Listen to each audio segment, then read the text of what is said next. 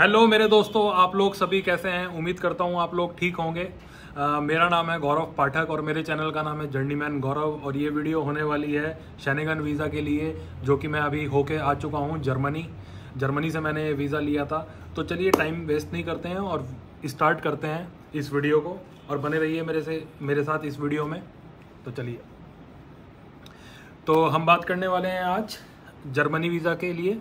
Germany क्या, शैनेगन visa के बारे में हम बात करने वाले हैं तो शैनेगन वीज़ा मैंने कैसे लिया है? मैं देख रहा हूँ कि बहुत सारे ट्रैवल एजेंट और बहुत सारे मतलब मैं देख रहा हूँ यूट्यूब पे कुछ लोग जो है इतना ज़्यादा आप लोगों को परेशान कर देते हैं कि यार शैनेगन वीज़ा तो ले ही नहीं पाएँगे और ये बहुत ज़्यादा टफ है लेना। इसके लिए इतने डॉक्यूमेंट्स हैं, आपका रिजेक्ट हो जाएगा, इतने परसेंट रिजेक्शन रेट है। तो ऐसा कुछ भी नहीं है। मैं आपको अपना एक्सपीरियंस बताऊँगा और अपने दोस्तों का एक्सपीरियंस बताऊँगा। मैं तो खैर सोलो ट्रिप करके आया उसके बाद मेरे दोस्त भी गए हैं और कुछ सोलो ट्रैवलर भी गए हैं। जो फ्रेश फ्रेश पासपोर्ट थे जिनके, उनके भी वीज़ा लगे हैं और सबके लगे हैं और वो भी जर्मनी से लगे हैं।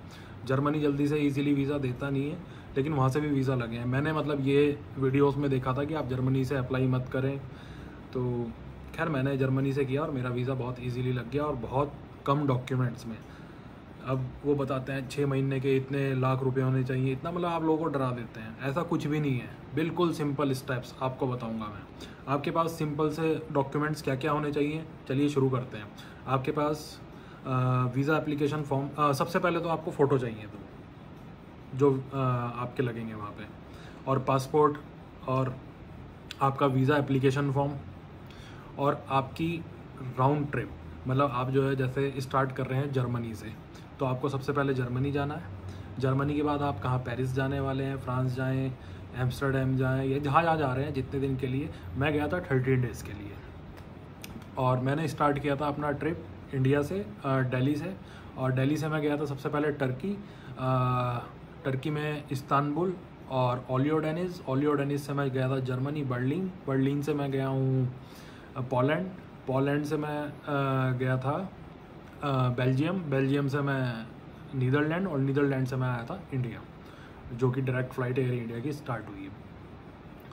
तो आपको आपको रिटर्न फ़्लाइट्स चाहिए मतलब फ़्लाइट आपकी पूरी बुक होनी चाहिए। खैर, मैंने अपने केस में डमी टिकट लगाई थी, मैं, मैंने टिकट कंफर्म टिकट नहीं लगाई थी, मैंने डमी टिकट लगाई है। आपको भी यही बोल रहा हूँ, डमी टिकट ही लगाना आप भी। कोई बुकिंग करने की ज़रूरत नहीं है। आपको कोई भी बोल रहा है ट्रैवल ट्रैवल एजेंट की बुकिंग करो डमी टिकट लगाओ। उसके बाद मैंने होटल रिजर्वेशन लगाया था। होटल रिजर्वेशन भी मैंने वो लगवाए थे जो कैंसिल हो सकते हैं। जिसमें पहले से पेमेंट हम नहीं करते हैं। तो मैंने वो लगाया था। हमारा हेल्थ इंश्योरेंस वो मैंने करवा लिया था। कुछ ग्यारह सौ, बारह सौ रुपये का हुआ था। और और मैंने दिया था आई टी आर मेन चीज़। आई टी आर मेरी थी मतलब उसमें लिखा हुआ था इनके उसमें तीन साल की, लेकिन मैंने दो साल की लगाई थी। आई टी आर कुछ खास नहीं थी मेरी। जो मैंने आई टी आर लगाई वो कुछ छः लाख रुपए के आसपास थी। करंट ईयर की जो लगाई थी वो छः लाख की थी, उससे पहले कुछ पौने छः लाख रुपए की थी। और अब बात रही कि आपके बैंक में कितना बैलेंस होना चाहिए। तो देखो, आप जितना मर्ज़ी रखो, ठीक है। मैं अपने केस में बताता हूँ। अ, मेरा जो बैंक बैलेंस है वो अलग अलग अकाउंट्स में डिवाइडेड है। मेरा एक अकाउंट नहीं है। तो मैंने अपना एक नॉर्मल अकाउंट था तो मैंने उसकी लगा दी और वो एक्सिस बैंक का था और मैंने लगाई है सिर्फ़ थ्री मंथ्स की बैंक स्टेटमेंट और उसमें पैसे कितने थे? मेन बात यह है तो मेरे बैंक में पैसे थे कुछ साढ़े चार लाख रुपए। तो आप सोच रहे होंगे, यार, ये तो लोग बताते हैं कि सात लाख होने चाहिए, आठ लाख होने चाहिए, दस लाख होने चाहिए छः महीने पुराने होने चाहिए। ऐसा कुछ नहीं है। मैंने तीन महीने पुराने लगाए, लेकिन मेरा अकाउंट बैलेंस चार लाख, साढ़े चार लाख, पाँच लाख, साढ़े पाँच लाख और साढ़े तीन लाख रुपए। तीन महीने से पहले रहा है। और जब तीन महीने थे, उस टाइम मैंने उस अकाउंट को कम से कम चार लाख रुपए पे रोक के रखा है। चार लाख से कभी वो साढ़े पाँच भी हो गया था, पाँच भी हो गया था, साढ़े चार भी। लेकिन मैं अपनी छोटी से छोटी पेमेंट अगर मुझे कहीं खाना खाना है तो मैं पेटीएम से कर रहा था।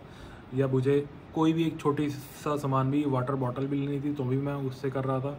और बीच बीच में मैंने अपने कभी दोस्तों से दस हज़ार रुपये आठ हज़ार रुपये सात हज़ार रुपये उन्हें कैश दे के अपने अकाउंट में डलवा दिए थे। लेकिन अलग अलग से, एक ही से नहीं। और ऐसे नहीं कि दस हज़ार डलवाए, बीस हज़ार, जैसे सेवन थाउज़ेंड टू हंड्रेड डलवा लिए। इलेवन थाउज़ेंड टू हंड्रेड डलवा दिए। इस तरह से मतलब राउंड फिगर में नहीं डलवाया मैंने। मतलब कि दस हज़ार, बीस हज़ार ऐसा कोई वो नहीं डलवाया अमाउंट तो बस ये था। और मैंने एक ट्रैवल एजेंट किया और मैंने ये सारे डॉक्यूमेंट्स उन्हें दिए। उन्होंने मुझे बोला ट्रैवल एजेंट वही सब करते हैं। सर, ये डॉक्यूमेंट्स ये हैं, कुछ ये बढ़ा दो पैसे। कम से कम सिक्स मंथ की आप अपनी बैंक स्टेट मैंने कहा, नहीं। मेरे पास ये डॉक्यूमेंट्स हैं। आप लगा दीजिए। और कोई प्रॉब्लम नहीं है। वीज़ा रिजेक्ट होगा, हो जाएगा। मैं वहाँ पे घूमने जा रहा हूँ, मैं कोई क्रिमिनल नहीं हूँ। मैं पहले भी ट्रैवल कर चुका हूँ और कंट्रीज़ लेकिन हाँ मैंने अभी तक कोई ऐसी कंट्री ट्रैवल नहीं की है जिसमें पहले से डॉक्यूमेंट्स देने हों। मैंने हमेशा ऑन अराइवल वीज़ा वाली ही कंट्री ट्रैवल की है ज़्यादातर। या फिर कोई एक आधी कंट्री जिनके जैसे दुबई वगैरह, सिंगापुर, जिनके वीज़ा इजीली लग जाते हैं, या मलेशिया, जिनके ही वीज़ा जाते हैं। मतलब कोई ऐसी कंट्री नहीं है जिसमें मैंने अपनी आईटीआर और बैंक स्टेटमेंट ये सब लगाई हो। तो ट्रैवल एजेंट को मैंने ये सब डॉक्यूमेंट्स दिए और मैंने कहा लगा दीजिए आप। और हाँ मैंने मेन चीज़ आपका क्या जाने वाला? ये डॉक्यूमेंट्स तो हो गए। सबसे पहले वहाँ पे आपका क्या देखा जाएगा? जो आपका वीज़ा देखते हैं वीज़ा जो देते हैं वो देखेंगे आपका कवर लेटर कवर लेटर में आपने क्या दिया हुआ है? तो कवर लेटर मैंने क्या बनाया था? कवर लेटर मैंने बनाया था कि मैं आ, मैं ट्रैवलर हूँ एक और मैं सोलो ट्रिप कर रहा हूँ ये वाला। और कुछ बारह दिन के लिए जाना चाहता हूँ। ये मेरी टिकट्स हैं, ये मेरे होटल रिजर्वेशन है। मैंने सारे वो डॉक्यूमेंट्स दे दिए हैं, अपनी आईटीआर दे दी है अपनी बैंक स्टेटमेंट दे दी है और मैं आपकी ब्यूटीफुल कंट्री घूमने जाना चाहता हूँ। और जर्मनी से ही मैं क्यों ले रहा हूँ? तो ये सब कुछ मैंने उसमें मेंशन नहीं किया था। मतलब जैसे आपको मेरे ट्रैवल एजेंट ने बोला कि इसमें ये भी मेंशन कर देते कि हम जर्मनी से क्यों ले रहे हैं। हम स्विट्ज़रलैंड से क्यों नहीं ले रहे यहाँ से क्यों नहीं? मैंने कहा नहीं कह रहा जर्मनी तो टूरिस्टिक प्लेस भी नहीं है। मैंने कोई नहीं ये सब मत लिखो। आप सिंपल सा लिखो। और मैंने उसे बोला कि मेरी ये इतनी इनकम है। मैंने ये अलग से लिख दिया कि मेरी इतनी इनकम है और मैं ये सारे डॉक्यूमेंट्स लगा रहा हूँ। और मेरी जो इनकम है आ, वो ज़्यादा है लेकिन उस पर वो टैक्स नहीं लगता क्योंकि वो एक डोनेशन इनकम है। मैंने उसमें ऐसे ही लिख दिया। क्योंकि डोनेशन इनकम है तो उस पर टैक्स नहीं लगता है। और उसका कोई प्रूफ नहीं होता तो मैंने बोला, मेरे पास डोनेशन सारी कैश में आती है और उसके ऊपर कोई भी टैक्स नहीं लगता है और वो कम से कम मेरी पंद्रह बीस लाख रुपए साल की अलग से आती है। तो उसका कोई प्रूफ नहीं है मेरे पास, लेकिन वो डोनेशन इनकम है, इसलिए टैक्स में नहीं आती है। ये मैंने लिख दिया और बस थैंक यू और ये वो नीचे अपने साइन वगैरह करके ये सब। हाँ मैंने अपना एक लेटर हेड बनवा दिया था, जो कि मैंने अपने गौरव पाठक के नाम से बनाया था। उसमें मैंने लेटर हेड बनाया, कोई भी आपको बना के दे देगा। लेटर हेड पे ऊपर जो भी आपका नाम हो एक्स वाई जेड अपने नाम से ही बनवा लेना। और नीचे अपने फ़ोन नंबर वगैरह जब प्यारा सा लेटर हेड लगे कि हाँ जैनवन है आपका। मैंने तो एकदम से मार्केट में गया, अपने लेटर हेड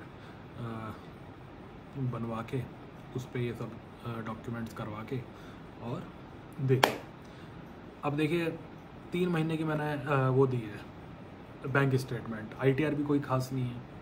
उसके बाद सबमिट होने के बाद टेन डेज़ के बाद मेरे पास कॉल आता है। तो मैंने वी एफ़ एस डेली से अप्लाई किया था, लेकिन मेरा जो पासपोर्ट है वो गया बॉम्बे मेरे पास बॉम्बे से कॉल आता है।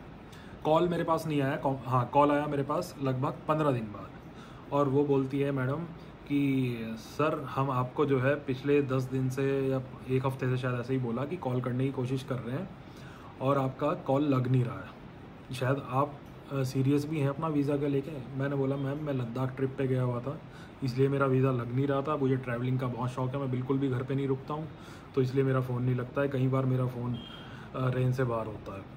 तो कह रही हो, आप ट्रैवलर हैं तो मैंने बोला। तो उन्होंने मेरे से पूछा कि आप शनेगन वीज़ा के लिए अप्लाई किया है जर्मनी से? तो वहाँ से क्यों अप्लाई किया है? आपने और किसी कंट्री से क्यों नहीं किया है? मैंने कहा, मैम, मुझे अपॉइंटमेंट जर्मनी का पहले मिल रहा था मैंने जर्मनी का कर दिया। मैंने कहा, मैं पहले भी ट्रैवल कर चुका हूँ, मुझे यूरोप जाना है, वो जर्मनी हो फ्रांस हो स्विट्ज़रलैंड हो स्पेन हो, या कोई भी कंट्री हो, मुझे उससे मतलब नहीं है। मुझे तो बस एक बार यूरोप ट्रैवल करके आना है कि देखना चाहता हूँ कि यूरोप का कल्चर यूरोप मैं कभी नहीं गया हूँ। तो उन्होंने कहा, ठीक है, आपके घर में कौन कौन है? मैंने अपनी फैमिली के बारे में बताया कि मेरे घर में ये हैं, पापा, मम्मी जो भी सब हैं, सबके बारे में बताया मैंने। कह रहे, करते क्या हो? मैंने कहा मैंने कहा, उसमें मैंने आपको बता रखा है। और कह रही, डोनेशन इनकम क्या होती है? मैंने कहा, मैं, डोनेशन इनकम आती है हमारे पूर्वजों का वर्क है ये। और जैसे हमारी गद्दी होती है, ऐसे इस तरह से हम होते मैंने ऐसे करके बोला, बात बना के उन्हें बोला। तो उन्होंने कहा, ओके, ठीक है। मैंने बोला कि हमारी, हम पंडित हैं और हमारे पास डोनेशन इनकम आती है। ऐसे मैं हरिद्वार में रहता हूँ, ऐसे ऐसे मैंने बोला तो वो समझ गई कह रही, ओके। कह रही कहाँ कहाँ रुकने वाले हो? किस किस होटल में रुकने वाले हो? तो मैंने उन्हें बताया, कह रही, ये होटल तो बर्लिन से बहुत दूर है। मैंने कहा हाँ मैम, बर्लिन से काफ़ी दूर है, और आप कहाँ कहाँ जा रहे हो? मैंने कहा, मैं बर्लिन जा रहा हूँ और मैं डसल ड्रॉफ जा रहा हूँ। कह रही, लेकिन डसल ड्रॉफ तो इसमें लिखा ही नहीं, इसमें तो बर्लिन और फ्रैंकफर्ट लिखा हुआ है। मैंने कहा हाँ फ्रैंकफर्ट लिखा हुआ है और ये मेरे ट्रैवल एजेंट ने किया है। और मैंने कहा मैं ट्रैवल एजेंट को सिर्फ़ दे देता हूँ क्योंकि मैं काफ़ी बिज़ी रहता हूँ। मैंने उन्हें दिखाया कि मैं बहुत ज़्यादा बिज़ी रहता हूँ, मेरे पास टाइम नहीं होता। मैंने कहा, बस मुझे पता होता है कि मेरी इन दिनों हॉलीडेज़ आने वाली हैं तो मैं उस टाइम के लिए पहले से प्लान कर लेता हूँ लेकिन इतना टाइम नहीं होता कि मैं वीज़ा खुद से लूँ। तो उन्होंने कहा, ठीक है। तो कह रही डसल ड्रॉफ का तो लेकिन होटल नहीं है। मैंने कहा, मैम, मैं तो डसल ड्रॉफ जाऊँगा, मैं फ्रैंकफर्ट जाना ही नहीं वाला। इन्होंने भले ही होटल बुक कर दिया, मैं होटल कैंसिल करवाऊँगा। और कह रही, उसके बाद फ्रांस जाओगे? मैंने कहा फ्रांस भी जाऊँगा। और उसके कह रही ट्वेल्व डेज़ का वीज़ा आपने अप्लाई किया है। मैंने कहा हाँ। मैंने कहा फ्रांस भी शायद मैं रुकूँगा एक दो दिन और उसके बाद और कहीं जाऊँगा। कह रही आपकी ये जो आपने टिकट्स लगाए हैं कन्फर्म है? मैंने कहा मैम मुझे ये भी नहीं पता कन्फर्म है। मैंने कहा ट्रैवल एजेंट को सब पता है? अगर आप बोलते हैं ट्रैवल एजेंट का मैं नंबर या उसे कॉन्फ्रेंस पे ले लेता हूँ। मैंने कहा मैम मेरे पास सीरियसली टाइम नहीं होता। आ, तो ये है। बाकी मैं आपके मतलब मैंने बोला कि मैं घूमने जाना जा रहा हूँ, मैं तो ट्रैवलर हूँ, आप मेरा पासपोर्ट हिस्ट्री देख सकती हैं और मैं हमेशा सोलो ही ट्रिप करता हूँ। तो मैं अभी बारह दिन के लिए जा रहा हूँ, मेरी भी यहाँ पे फैमिली है, मुझे भी वापस आके काम करना है, मुझे भी कोई, मेरा कोई ऐसा गलत पर्पस नहीं है वहाँ पे जाने के लिए। आप देंगी तो मुझे सच में बहुत, दिल से बहुत अच्छा लगेगा, नहीं देंगी तो फिर मैं कभी फिर दोबारा ट्राई करूँगा और थोड़ी सी अपनी ट्रैवल हिस्ट्री अच्छी करके, अपने डॉक्यूमेंट्स अच्छे करके। तो कहने लगी अच्छा कह रही हरिद्वार में कहाँ रहती हैं? मैंने कहा, हरिद्वार में ऐसे ऐसे जगह कह रही, मैं हरिद्वार आई हूँ एक बार। तो मैंने कहा, वाह! तो मैंने कहा, मैम, आप आइए, कभी भी दोबारा आइए और विज़िट करिए हरिद्वार, मैं आपको हरिद्वार दिखाऊँगा।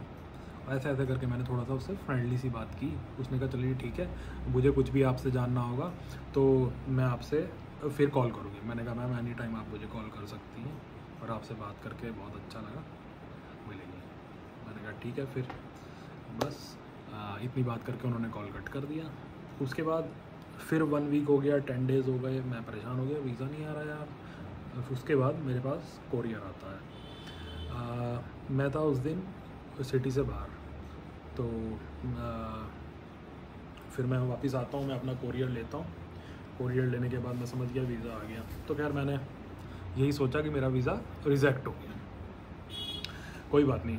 मैंने धीरे धीरे कोरियर खोला और पासपोर्ट खोल के मैं सबसे लास्ट पेज पे देखने लगा कि वीज़ा की स्टैम्प कहाँ लगाई है, इन्होंने लास्ट रिजेक्ट की।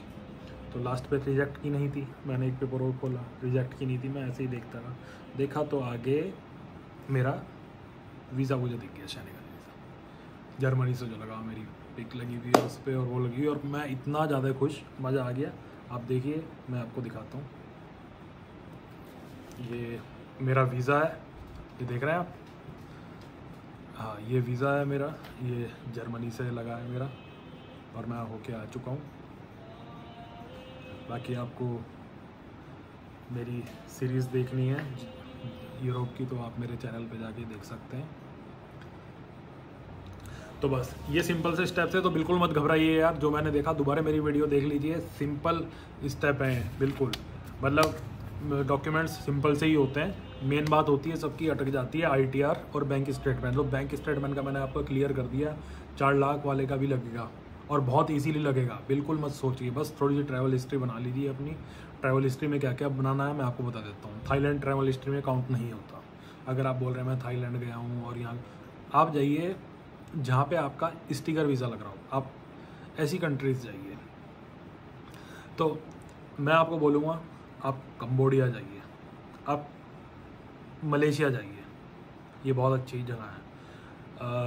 आप सिंगापुर जाइए। आप सिंगापुर जा रहे हैं तो सिंगापुर से फिलीपींस ज़रूर जाइए। अगर आपके पास सिंगापुर का वीज़ा मिल गया आपको तो सिंगापुर का वीज़ा मल्टीपल एंट्री वीज़ा मिलता है। और उस मल्टीपल एंट्री वीज़ा पे आप फिलीपींस ऑन अराइवल 14 डेज़ का फ्री ऑफ़ कॉस्ट वीज़ा ले सकते हैं। मतलब आपको इंडिया से वीज़ा लेने की, फिलीपींस की कोई ज़रूरत नहीं है। आप सीधा जो है सिंगापुर का वीज़ा लीजिए। सिंगापुर जाइए एक दिन रुकिए और सीधा वहाँ से फ़िलीपींस जाइए और ऑन अराइवल वीज़ा लीजिए फ़िलीपींस का मनीला का। मनीला में उतरेगी फ़्लाइट और कुछ आ, मेरे ख्याल से सिंगापुर से आपको वन वे फ़्लाइट मेरे ख्याल से साढ़े तीन चार हज़ार रुपये में मिल सकती है अगर आप पहले से बुक करेंगे। तो फिलीपींस जाइए आप सिंगापुर जाइए मलेशिया जाइए कम्बोडिया जाइए बहुत अच्छी ट्रैवल हिस्ट्री बनेगी आपकी। दुबई मत जाइए आप। और अगर हो सकता है तो रशिया आप जा सकते हैं बहुत इजीली वीज़ा मिल सकता है आपको। उसके बाद आप आ, मैंने भी ऐसा ही किया था और उसके बाद फिर मैंने ताइवान भी गया था। ताइवान और फिलीपींस की बहुत अच्छी ट्रैवल हिस्ट्री मिली मुझे। और ये मेरी पासपोर्ट पे स्टैम्प थी ये भी मैंने साथ में लगाए थे अलग से पास पासपोर्ट से अलग इन्हें निकाल के मैंने लगाया था। तो वीडियो बहुत लंबी हो रही है यार। पंद्रह मिनट से ऊपर की वीडियो हो चुकी है। तो अब अगली वीडियो में मिलते हैं। अगली वीडियो में मैं आपको बताऊँगा कि मैं टर्की का वीज़ा कैसे लिया और उसके बाद उससे अगली वीडियो में मैं एक बहुत अच्छी कंट्री जा रहा हूँ, जहाँ पे वीज़ा ऑन अराइवल है और फ्री ऑफ़ कॉस्ट वीज़ा है और जहाँ की फ़्लाइट आपको गोवा से भी सस्ती पड़ने वाली है। यकीन मानिए, वहाँ की फ़्लाइट आपको ten thousand five hundred rupees में मिलने वाली है अप एंड डाउन वो एक ऐसी कंट्री है, जहाँ की फ़्लाइटें हमेशा mostly thirty thousand thirty five thousand thirty two thousand कम से कम ट्वेंटी एट थाउज़ेंड की फ़्लाइटें आती हैं। वहाँ की फ़्लाइट आपको सिर्फ़ मिलेगी साढ़े दस हज़ार रुपये में। अभी बुक कर लेना। मैं आज दो दिन बाद वीडियो वो भी डालूँगा। कल मैं फ़िलहाल टर्की की वीडियो डालूँगा, एक छोटी सी तीन चार पाँच मिनट की वीडियो डालूँगा। उसके बाद मैं वो उससे नेक्स्ट डे वहाँ की डालने वाला हूँ। तो चलिए मिलते हैं अगली वीडियो में। और मेरे चैनल को यार सब्सक्राइब लाइक कर देना। अगर अच्छी लगे, नहीं करना तो डिसलाइक का बटन भी ठोक के जाना। चलो बाय